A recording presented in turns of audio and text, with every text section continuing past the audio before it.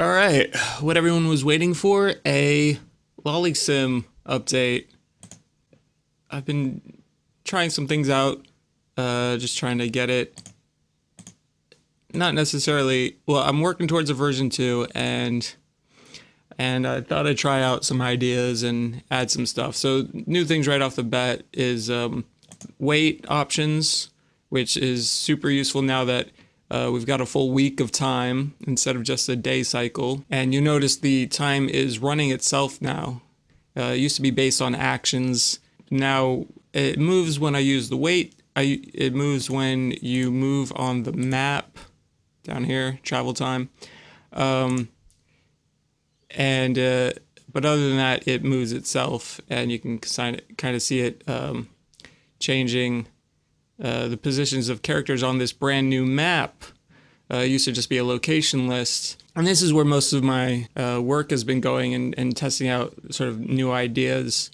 Um, this thing is cool. Now it's not just a few static uh, characters in, in places that I've pre-designed. Now they sort of uh, came up with a whole display. So it's based on this map over here, and then I sort of map out based on based on distance, obviously, and as and uh, sort of the angle from the player position to the character positions to figure out where they should be here in the sort of x coordinates. That's what were you doing down there? All right, there's still some bugs apparently, although possibly that's just because I'm recording. But so uh, implementing this whole map thing, there's a lot more going on than just this. Although this is pretty cool in itself. So what I've what I've done is uh, these characters are not moving randomly. They are moving uh, according to a schedule. And it used to be that I designed the whole schedule myself by hand. Same as what I do on of power lines, which I haven't worked on in ages. Um, but uh, so I decided to try, and it's working out pretty nice. Is uh, I'm kind of generating schedules instead. So the first thing I do is I write out a schedule for each key position. So the school and the beach and the homes, uh, each person's individual home and their and the park. And uh, this guy is at a location called work for each character, I have a bunch of different positions that they want to go to, positions that they know about and want to be at at certain times in the week. And so I write down key points in the week where they uh, really want to be at a place or don't want to be at a place. So like a percentage uh, over the entire week. So so instead of being like a definitive schedule, it's a probabilistic schedule. So that on its face isn't much because um, it would generate the same schedule each time if I'm just grabbing, if I'm just blending together the different location uh, desires and then and then sh- shitting out a, a schedule. So on top of that, there's also sort of like relationship is one thing that I use when generating the schedules. So um, so like if uh, characters are friends, then they will kind of clump together. They'll they'll rank a location higher based on whether their friend wants to be there as well. Um, so that's how you keep getting uh, them going in unison to places.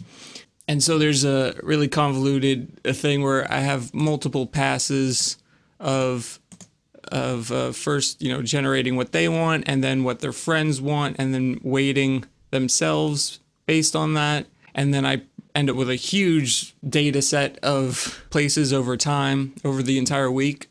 And then I prune that down to like the hot spots, the highs and lows, and that's how I generate a schedule for the entire week. And sort of I have to redo that anytime that uh, certain states change, like their relationships with one another. There's no interacting in this version just yet.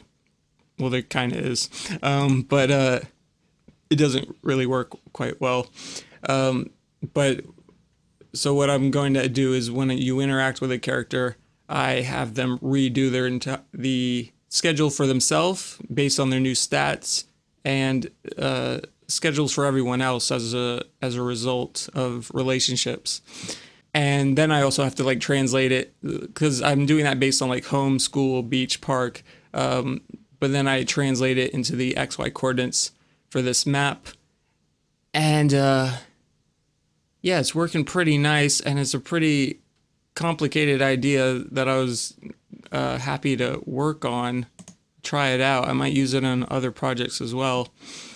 Um, uh, another thing is uh, I ran into is was uh, I originally I had it so I would just set the points like this is my home, this is the park, this is the XY for the beach.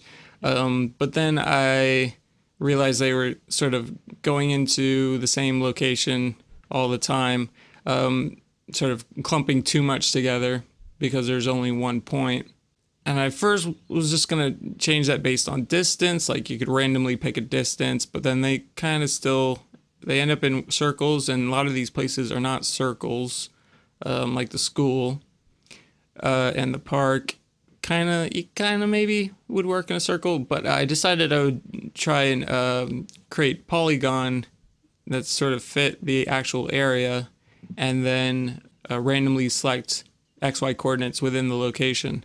And that was a lot harder than I first suspected. Uh, mainly because Flash, like uh, Flash, is pretty cool. It can uh, generate um, shapes and stuff at runtime uh, with its drawing methods. But I did not know that you cannot uh, hit test them with the shape flag on for some reason. I don't know if this was fixed in a later version of Flash. I'm still using uh, Flash 8, but it could not do that, so I had to run my own point to polygon testing so that I could generate a bunch of. Uh, I sort of like go through each polygon and then add in points uh, that they can randomly select. And that's the only place that randomness comes in their schedule is picking uh, a point within a location polygon. Um, other than that, Jesus, look at them all. Um, they, other than that, they uh, everything is uh, deterministic, even though it's a probabilistic schedule. And uh, that's it. That's I think yeah, I think that's pretty much everything.